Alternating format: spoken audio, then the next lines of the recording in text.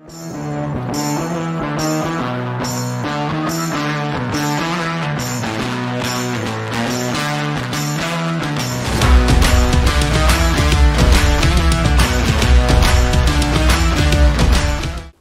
programımıza hoş geldiniz. Merhaba. Yepyeni bir bölümle karşınızdayız. Muhteşem bir bölüm olacak. Eminim tabii ki partnerim doçent doktor Murat Baki Yıldız. Hocam Efendim? sen Allah'tan Ecerken diyorsun. Benim diğer soyadımı da söylesen. Öyle mi? E, tabii benim de Ecerken Mahmut Yazıcıoğlu. Ha, doğru. Ondan dolayı sizin de Murat Baki ikincisi evet, mi? evet Baki. Onu Evet. dedemin hediyesi bana. Güzelmiş hocam. Bugün e, yeni konuğumuzla yine beraberiz. Hoş geldiniz. Merhabalar. Ben Merhaba. hemen şöyle dönüyorum. Deniz Kaplan pratisyen hekim. Evet. Deniz Bey çok konuşacağımız şey var ama öncelikle mezoterapi terapi üzerine değil mi? Evet. İlk sorumu ben soruyorum. Tabii ki. Tamam hocam. Mezoterapi nedir ve temel amacı nedir? Mezoterapi dediğimizde aslında cildi desteklemek, e, cilt sorunlarını desteklemek veya var olan kalitesini devam ettirmek için kullandığımız e, düşük dozlarda cilt altına yapılan mikro enjeksiyonlar. Aslında son günlerde en çok yapılan operasyon değil mi? Yani operasyon demeyeyim de tabii ki. Terapi şeklinde Tedavi. destek maksatlı e, tabii ki tedavi olarak da kullanılabiliyor. E, daha çok ilgi çekiyor. Özellikle hani doğal formun korunması, cilt kalitesinin devam ettirilmesi, e, yaşlanma süreçlerinin yavaşlatılması gibi şeylerde daha öne çıkıyor. Sizde var mı şu an? Doğru Evet, söyleyeyim. Cildi çok güzel Deniz Ya evet böyle çok ışıl ışıl maşallah. Evet.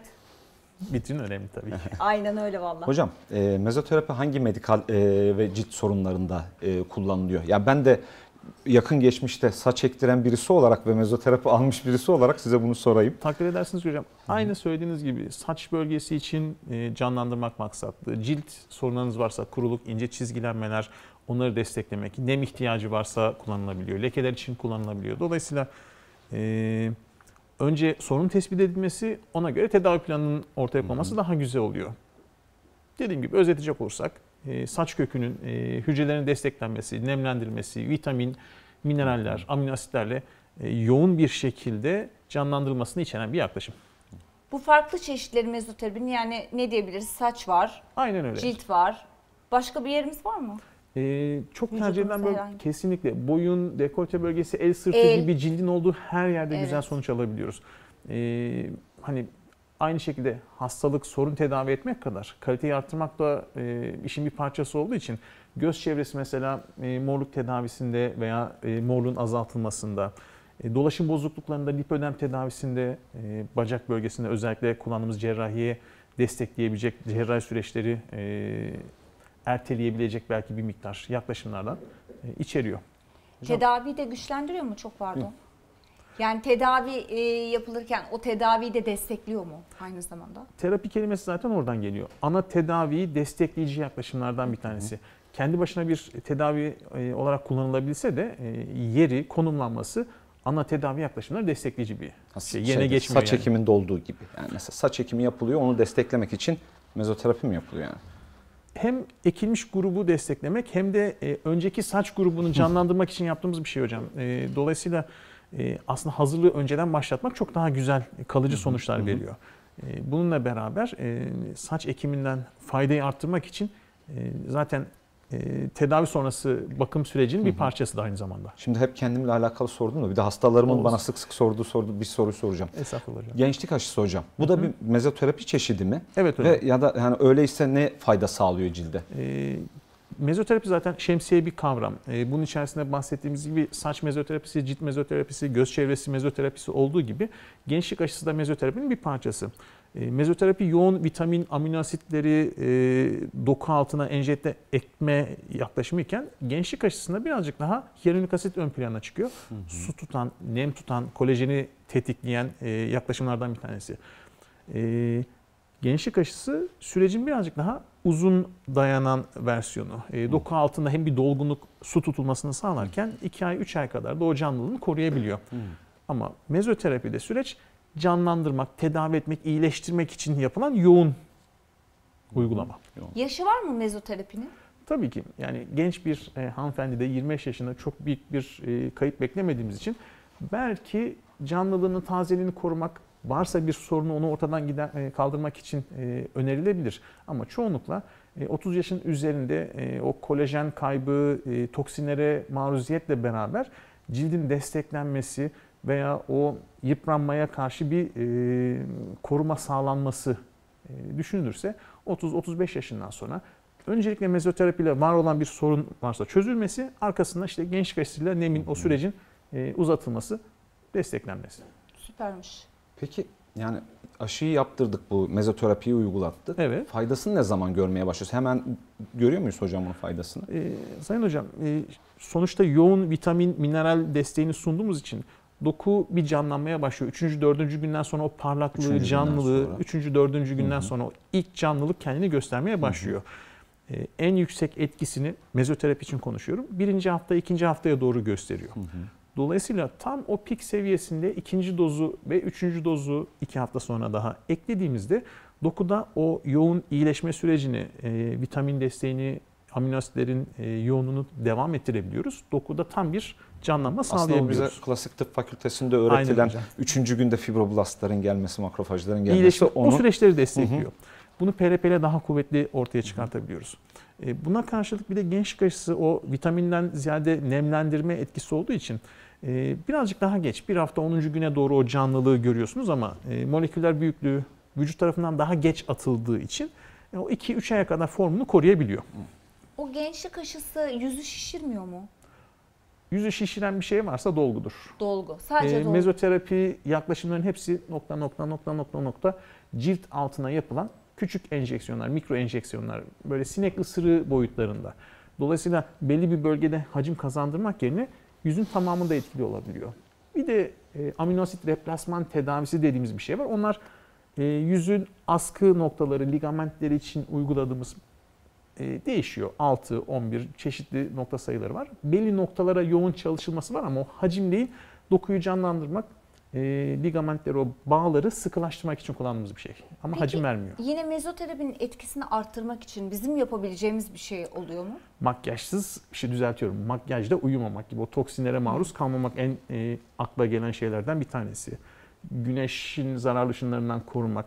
Değiştirilebilir yaşam faktörleri var. İşte spor, uyku, stres yönetimi, e, toksinlerden uzak kalmak e, ve beslenme alışkanlıklarının ortadan e, düzeltilmesi, özür diliyorum.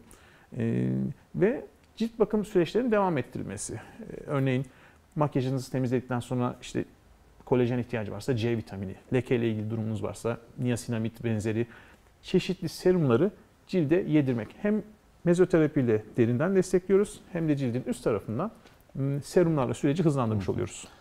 Hocam şimdi e, bir doktor olduğum için şunu merak ediyorlar. Ben izleyenler farkındayım. Bize en çok bunu soruyorlar. Bir ameliyat yaptığım zaman hocam ameliyat süreci nasıl olacak? Sonrasında ben ne zaman normal hayatıma döneceğim? Kesin mezoterapi için de bunu merak ediyorlar. Var. Bu süreç nasıl? Sonrasında ben normal hayatıma ne zaman döneceğim? Size sık soruyorlardır bunu. Normal hayatına hastalarımız çoğunlukla 4-5 saat sonra dönebiliyorlar. E, mezoterapinin içeriğine göre daha yoğun e, iyileştirme etkisi daha kuvvetli bir şey e, kullanıyorsak çözülmesi, dağılması zaman alıyor. O yüzden 3-4 saatlik o enjeksiyon yerindeki dalgalanmalar, kabarıklıklar olabiliyor. İşin içerisinde iğne olduğu için belli bölgelerde kanama, morluk da olabiliyor. Ama bunların e, büyük kısmı ilk 24 saatte morluklar olduğu zaman da 3. 4. güne doğru iyileştiği için e, ciddi bir hayattan ya da yaşantınızdan uzak kalma sorunu ortaya çıkmıyor. Tek konu güneşin yoğun olduğu ortamlarda iğne giriş çıkışı fazla olduğu için güneşten korunmak, güneş koruyucunuzu e, aksatmamak Yani normal yaşantımızı aslında çok Aynen sekteye öyle. vuran bir durum değil. sekteye uğratmıyor hocam Ya arada morarabiliyor. Maalesef. O, onu da makyajla kapatıyoruz. Nazar. Evet.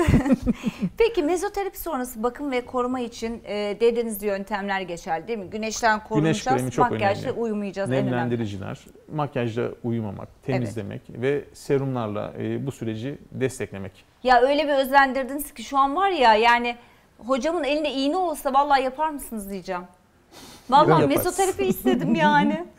E, gerçekten Cildiniz de de o kadar güzel duruyor ki hocam. kendine bakması işin en önemli paydası. Mezoterapi destekleyen Evet. yaklaşımlardan bir tanesi. Cilt bakımı da aynı, sağlıklı yaşam da aynı. Hepsi bir arada olunca keyifli bir Mesela bana deselerken neyi tavsiye edersin Ecerken olarak işte cilt bakımı vesaire.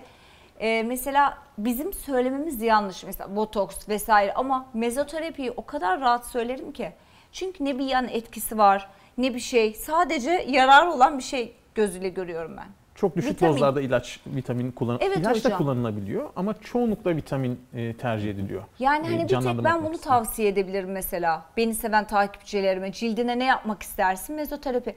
Diğer şeyler çünkü herkese olmuyor. Ama Hasta mezoterapinin herkese ihtiyacı önemli. var bence. Kesinlikle. E, dediğim gibi o yaşam faktörlerini düzgün uygulayan kişilerin ihtiyacı azalabiliyor. Ama Evet. hayat koşuşturmacası içerisinde unuttuğunuzda e, bir alternatif olarak Desteklememiz, önümüzde. korumamız Kesinlikle. açısından. Aynı şekilde ben de mesela bir doktor olarak değil ama bir hasta olarak saç ektiren arkadaşlarıma kesinlikle yani kendim hep faydasını gördüğüm için mezoterapiyi öneriyordum. Yani öneriyorum hala. Sizin de çok doğal olmuş ama. Sağ olun, Hocam teşekkürler. söylemesinizi Aynen anlamam hocam. valla. Sağ olun, teşekkürler. Serkan Hoca sağ olsun. Ee, mesela yaptırıyorum mezoterapiyi. Saç birden kalınlaşıyor, Öyle. e, dolgunlaşıyor. Kolay şekil alır hocam. Evet, kolay şekil alıyor. Sonra mesela aradan işte dediğiniz gibi birkaç ay geçtikten sonra sönmeye başlıyor. E, bırakırsam eğer. Hani ama dediğiniz gibi belirli aralıklarla bunu ara ara dozlarla yaptırırsam çok büyük faydası. dozları aynen. Hatırlatma Ee, dozları yaptırırsam Onlara muhtaç değilsiniz. Düzenli yaptırdığınızda doku zaten kendini iyileştirdiği için e, kendine yetebilecek seviyeye geliyor. Aynen öyle. Şimdi yaz aylarına yaklaşıyoruz. Yaz aylarında mezoterapi yaptırdığımız zaman dikkat edilmesi gereken şeyler neler? Genel e, tedavi sonrası e, dikkat edeceğimiz şeylerin e, sadece sıralaması değişiyor. Birinci sıraya güneşten korunma geçiyor. Arkasından nemlendiriciler. E, ama onun dışında e, özellikle alınacak bir tedbir, tedbir yok. Dolayısıyla yaz aylarında da mezoterapi yapılabilir. E, her ne kadar hassasiyet olsa da.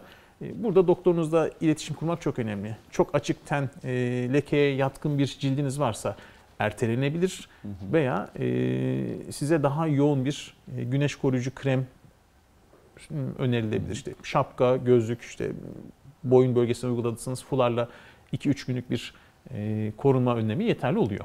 Kaç faktör kullanalım? Orada gözden kaçan bir unsur var. E, faktörün önemi yok. Faktörün dayanma gücü birazcık daha ön planda. 30 faktörle 50 faktör aynı etkiyi ama süreleri farklı. 30 faktör varsayalım bizi 1,5-2 saat koruyabilecekken 50 faktör 3-4 saate kadar koruyabiliyor. En iyisi e, o etkiyi kremsi etkinin ortadan kalktığını hissettiğinizde güneş kremini yenilemeniz.